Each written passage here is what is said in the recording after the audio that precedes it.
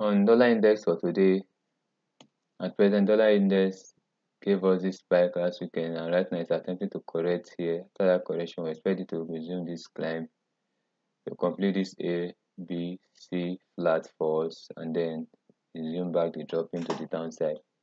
So if we zoom to the four hour time frame on dollar index we want to watch this. It is attempting to give a correction here. Once it's through with this correction we expect it to resume back the um, buy setup to the upside so you want to watch out for that.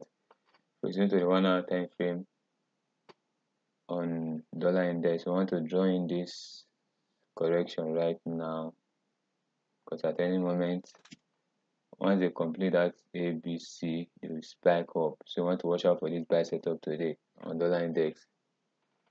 Buy setup is incoming. So you have to look look out for it. Although this can also correct deeper make this the a make b